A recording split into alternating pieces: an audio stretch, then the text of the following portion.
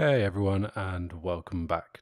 This is going to be the small bonus video that I mentioned previously where we'll be creating the curvature to the material so that by the end of the video we have something that looks a little bit like this in the background. So you'll notice there are definitely some kind of visual issues going on here. Uh, mostly that things like I said they're popping in and out, and most of that will be overcome with the use of your own uh, static meshes. I think these are basically just a little bit too rudimentary, um, and also the offsets and things can be a little bit uh, harsh for the material to work with. But generally, the material should be fine. It's going to be the assets you're working with which make the difference. By the end of this, you'll see that all we're really doing is we're offsetting the vertices in the material, so it's not actually deforming anything physically on the mesh. Uh, it's all kind of illusionary. So to get started on this, one thing I wanted to mention before we do actually start making the material is that if I go to my models folder, I've recreated the cube. Uh, because this is distorting the vertices, basically the higher poly count your meshes are, the better this is going to work because it will have more uh, verts to deform. Uh, it's not actually completely required. You can still follow this with the very basic uh, planar cube that you get, but this is what mine looks like now. So if I put the wireframe on, you can see I've just gone in and added some subdivides to the cube. So each one's got, it's going to have 16 faces per side of the cube. So it's just got a little bit more detail and information. Generally, like I said, you probably won't end up working with cubes in your project anyway. Uh, this is just for me to get the tutorial across. When you're working with meshes, with some detail and uh, which actually have some shape to them, then they're probably going to have enough verts anyway. So you don't need to add these in unless you start seeing some problems. So it doesn't mean that you're going to have a really high poly count just to get this working. So just to let you know, and again, uh, I'll provide the download for this in this video. So if you did want to work with the cube that I have, I'm not going to go through the modeling process of that, but you can just download my project, uh, take that out, and you'll have the cube with a bit more information. So what we are going to do to get this working is we're going to go back to the materials folder, and I'm just going to add this into the flat material. Rather than creating a whole new curved material, this does mean as well that the materials that we have in the game already will just work because they're instances of the flat material that we already have created. So inside of the flat material, uh, this is the bit we're going to be interested in, which is the world position offset.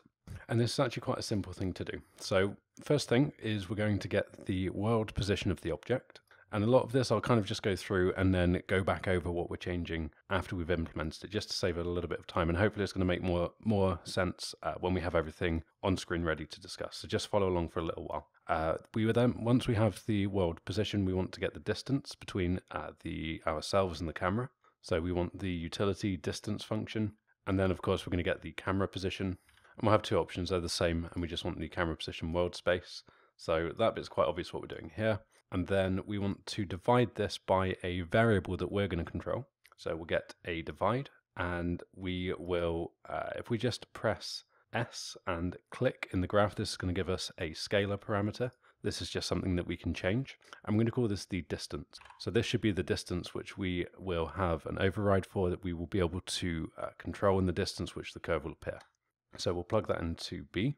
And then we just want to get the power of this. So again, we can pull off and uh, search power. And with that, again, we want another scalar parameter. So I'm just going to copy this one. We'll plug this in to the exponential value. And uh, in fact, we can just call this one exponential or exp just so that we know what this is um, overriding again in the material instance, which is going to be the uh, the exponent of the power value that we have here. And then finally, we want to select M and again left click on the graph. This is just a quick way to get the multiply node. We can plug this in here and we're going to plug the final value here into the world position. So there's one more thing that we want to do and that is to get the B value of what we're multiplying here. And this is just going to be the cross value of a direction, which again, I'll explain in a bit how we're going to work that. But first of all, if we get the cross, so the uh, cross product here, um, the thing that we want to get first of all to plug into the A parameter is going to be the camera direction vector.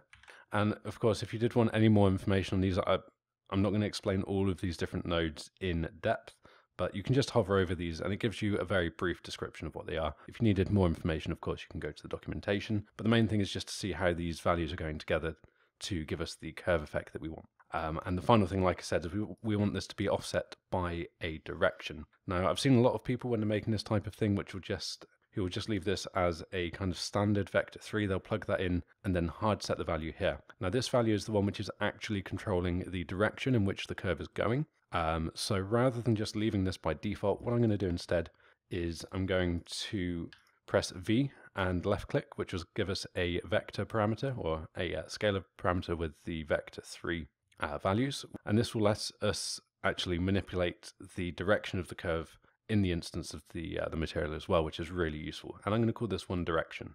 Okay, so just notice I said one direction in my video, which is something I never wanted to say, but uh, we'll leave that one in. And with that, so we're going to plug the direction into the B value, which is um, going against the cross product of the camera direction value, and that is everything to get this working. So what we have here, uh, we have the distance in which the fall off is going to happen. So we want to give this a base value as well. Uh, I think I found something of around 800 works perfectly fine. Uh, we then have the exponent value that we're plugging into the power. Now this is going to be a lot smaller, so we can leave this something as 5 for now. And of course, we're going to be able to override this in the uh, material instance anyway. Now, the confusing thing is how we use a color to get the direction. So just to give a simple example, I'm going to put the blue value to something like 0.3 and I think that this should make it go either left or right, probably left. Um, I'm not incredibly experienced with materials, but um, in my mind that's how it works, and we'll see this when we put it on the uh, on the meshes anyway. So if we apply that, we can now go back in, we can press play, uh, and we're going to need to let the shaders recompile, so I'll do that. Okay, so with that compiled, the map now, or the, the road, should look something like this. So it is curving to the left, just as I thought it would. So the curve is now working. Uh, and I just wanted to mention as well that I'm actually picking this recording up several days after I started recording. I got interrupted and I just haven't had the time to finish it off. So apologies if the sound suddenly starts sounding different or the quality's off or something, um, or the background noise, etc. It's just a completely different day.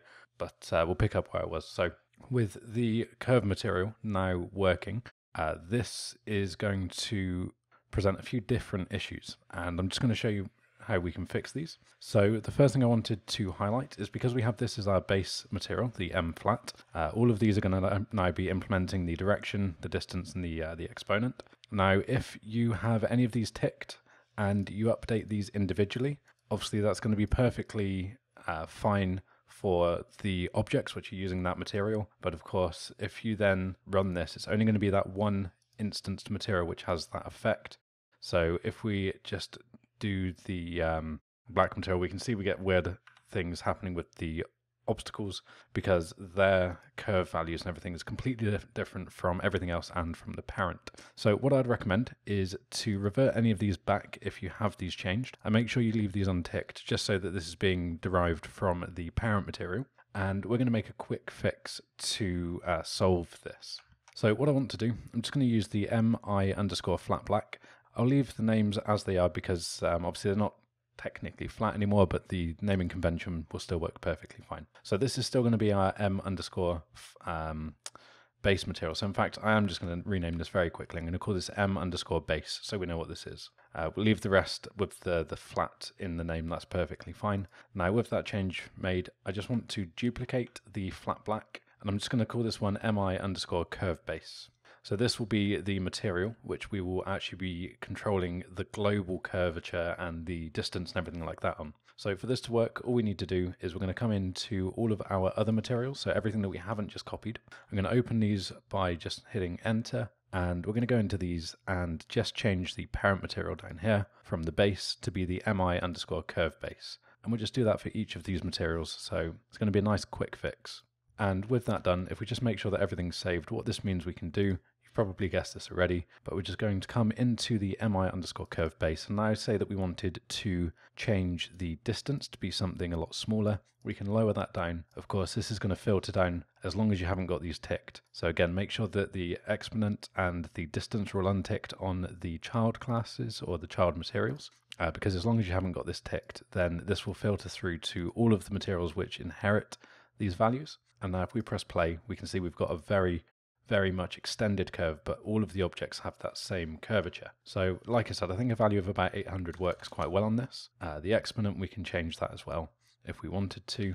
So something like 6 or 7 can work quite well to like really emphasize that curvature as well. Um, but obviously keeping the distance the same, you can see you're going to have to play about with the different values to try and make sure that based on where the camera's looking everything, that everything's uh, not popping in and looking a bit strange. And then the final thing is going to be the direction. So, like I said, that did work. The uh, the point three on the blue is obviously controlling the x, so that's going to be the the x-axis on the way that that's distorting it. And then the other cool thing about this is now that we have all of this uh, collapsed into the mi underscore curved base, uh, we can close all of the others. So I'm just going to drag this across, close tabs to the right, and we can now, in fact, I'm just going to drag this down as well. Uh, we can enter the play mode and we can start tweaking things uh, in real time. So we can actually make the changes here. And once we let go, we can see that we're actually having the, uh, the visual updates made. So this is going to be really handy as well to kind of make sense of how we're using color so that we can start moving the values and seeing how they are emphasizing different directions and things like that. So if we wanted things to be going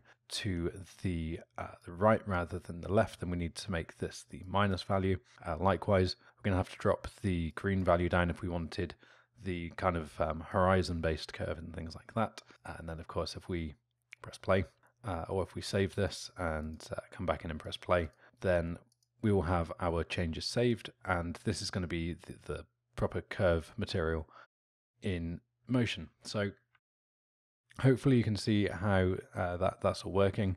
I didn't mean to go too fast there. It was just reparenting the material really so that we can control specifically the curve and all of the values related to that in one place because of course that's one of the things um, although the great thing about material instances is having that flexibility and freedom to change anything within the material things like that because you're going to have the kind of faking of where the vertices are you kind of want everything most of the time for most use cases at least to be using the same values so just making that another kind of parent material class and then having everything derive off of that so that we can just edit these values once seemed like the better approach so with that done, like I said, this was kind of more of a bonus video. Um, I kind of forgot to upload this one or create this one originally. And again, a big thank you to the creator of the plugin that I've mentioned before for the Endless Runner, which is on the marketplace. As I mentioned at the beginning, this wasn't something I was going to do with the curved shader, but that was included in the pack that they gave me,